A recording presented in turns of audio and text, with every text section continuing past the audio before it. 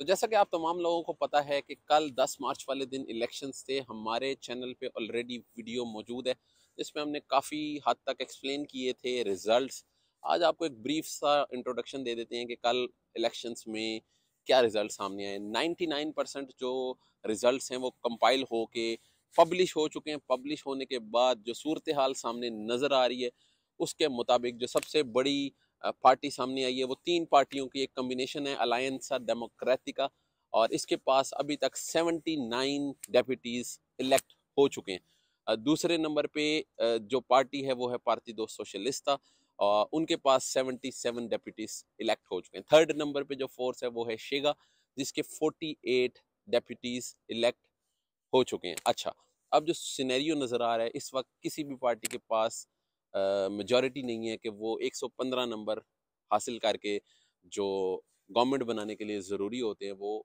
Government बना सकें। तो इस वक्त जो सबसे बड़ी पार्टी है, वो है पार्टी दो सोशलिस्ट उन्होंने ये कहा है कि हम अपोजिशन में जाएँगे और क्योंकि लास्ट टाइम उनके साथ भी ऐसा ही हुआ था, उनका बजट पास नहीं होने दिया गया था।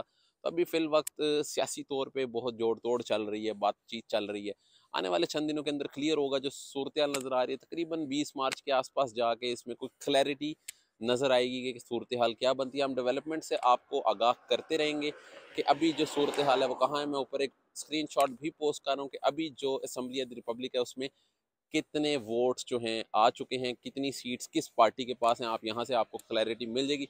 चार जो सीटें हैं, उनका अभी तक रिज़ल्ट नहीं आया। वो चार सीटें उन लोगों की हैं जो पुर्तगीज़ यहाँ से इमिग्रेट होके एमिग्रेट यानी दूसरे कंट्रीज़ में जा चुके हैं। उनके अभी तक रिजल्ट्स नहीं आए, क्योंकि वहाँ की मेजॉरिटी जो रिजल्ट्स होते हैं, वो बाय पोस्ट बेचते हैं बैलेट पेपर को।